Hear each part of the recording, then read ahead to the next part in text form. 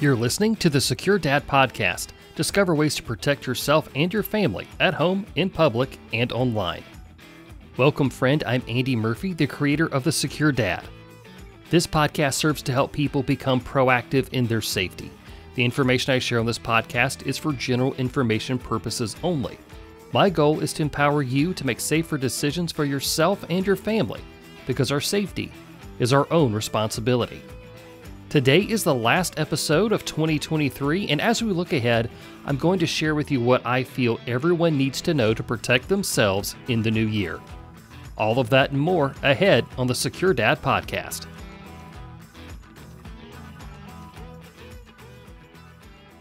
In November, Duke University published a report on how easy it was to find the personal information of active duty military members and their families. The report said researchers could buy information from data brokers for as little as 12 cents per record. Not only is that alarming, but the report also said they could easily find location data on military members and their families. Oh, and these data brokers are selling to customers outside of the United States. Military or not, you need to remove your data from these sites now. Go to joindeleteme.com/dad. There, you can get 20% off a privacy plan when using the code DAD at checkout.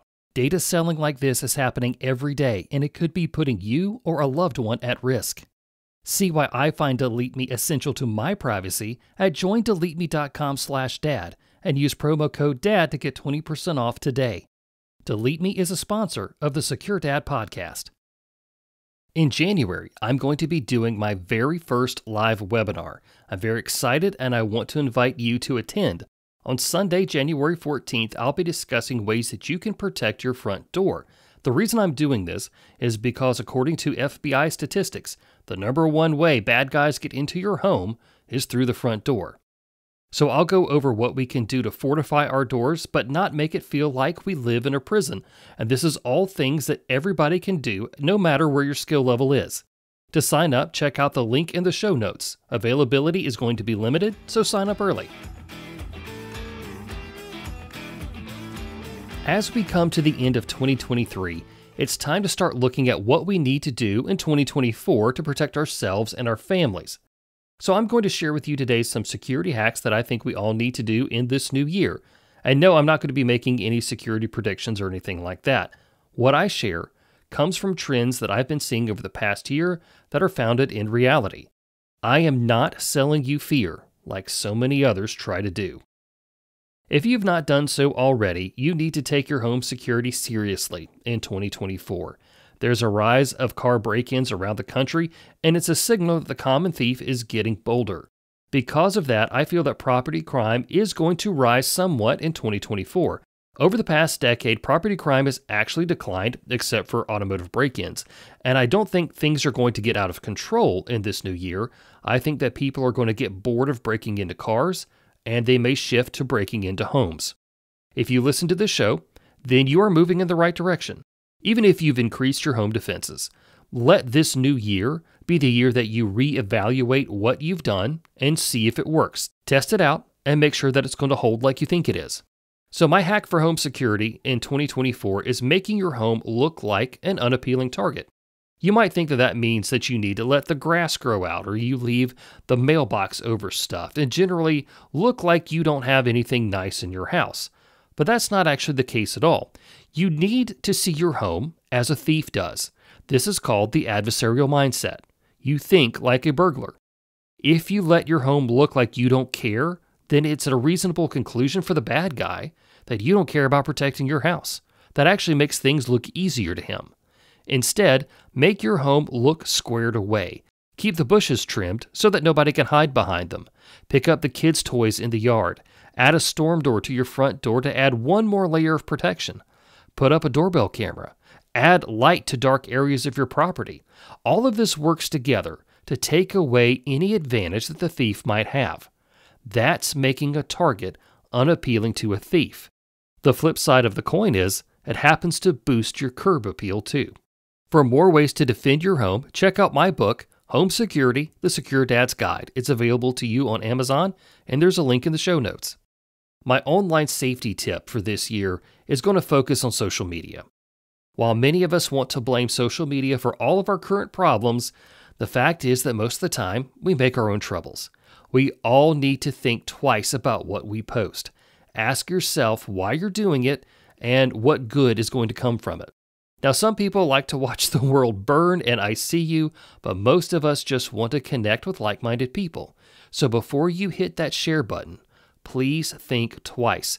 This is especially important for our kids. They will be judged for what they posted when they were only 10, 12, 13 years old, whatever. This could hurt their chances at college acceptance, job applications, and even relationships.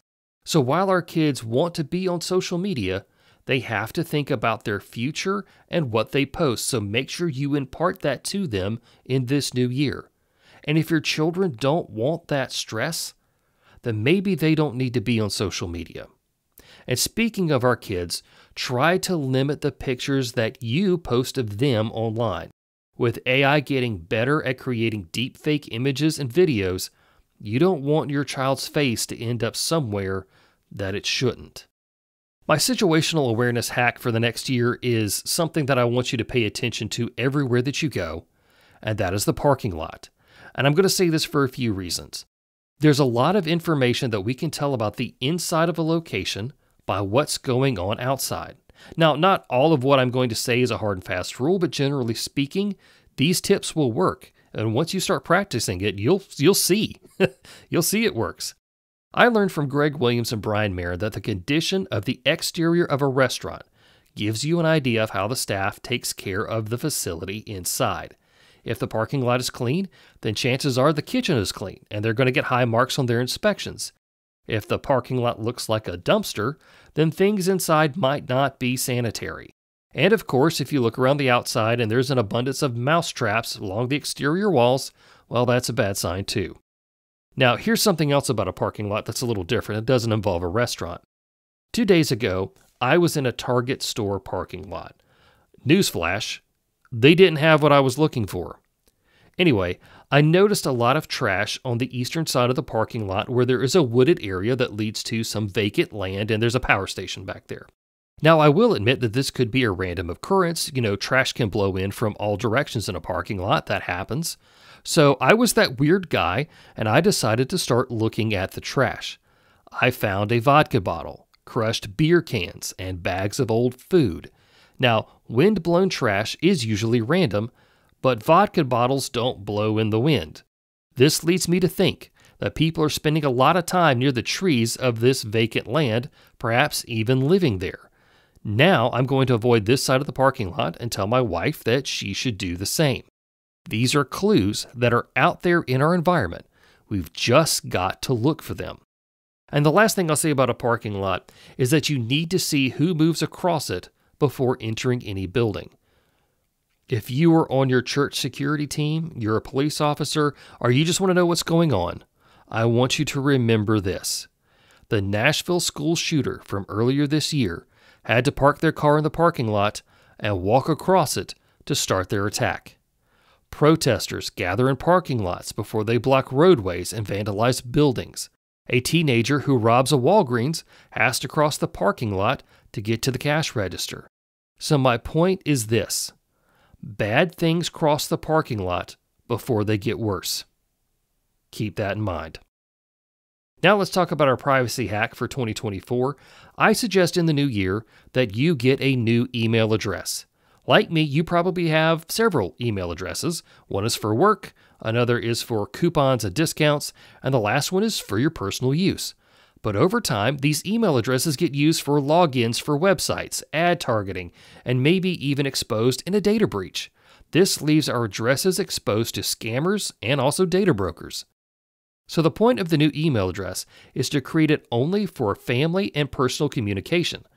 Do not use it to sign up for a discount. Do not use it for a school sign up. Do not use it for business. Only use it for vital communication with people that you care about and important personal correspondence like with your doctor. I really suggest using an encrypted service like Proton Mail. You can sign up for free, and no, I'm not an affiliate of theirs, I just really like their product. I do suggest that when you create this new email address, you don't use your name. Make it something generic like I hate fanny packs at proton.me. And no, I don't have that address, but it would fit. It's just an example. But the more generic you make it, the harder it is to tie to you. Over time, move each family member to your new email address. It may take all of 2024 to get people over to the new one, but that's okay. Then ask that they not share the address with anybody else. This way, you can keep this address insulated from social media logins and anyone else who wants to eat away at your privacy. As always, I encourage you to get training every year to make yourself a more capable person. This training could be first aid, a firearms course, or even learning about situational awareness. The aim of these classes is to make you smarter and better than you were the year before. This way, you can help yourself and your family in the event of a crisis. I've done training once a year since I started this show, and it's a great way to gain new skills and get out of my comfort zone. I find myself being really proud of myself when I've completed something. So, whether it's in person or online, take some time to invest in yourself with training in 2024. Speaking of online training, on January 14th, I'm doing a live webinar about protecting your front door. I'm going to geek out on the vulnerabilities, the problems that we face, and I'm going to give you solutions. I see video after video of criminals kicking down front doors to rob people, so I'm going to show you how to prevent that. This webinar is free. All you need to do is register. Plus, I'm going to share with you something special that I've been working on. So I hope to see you at the event. You can sign up for securing your front door at the link in the show notes.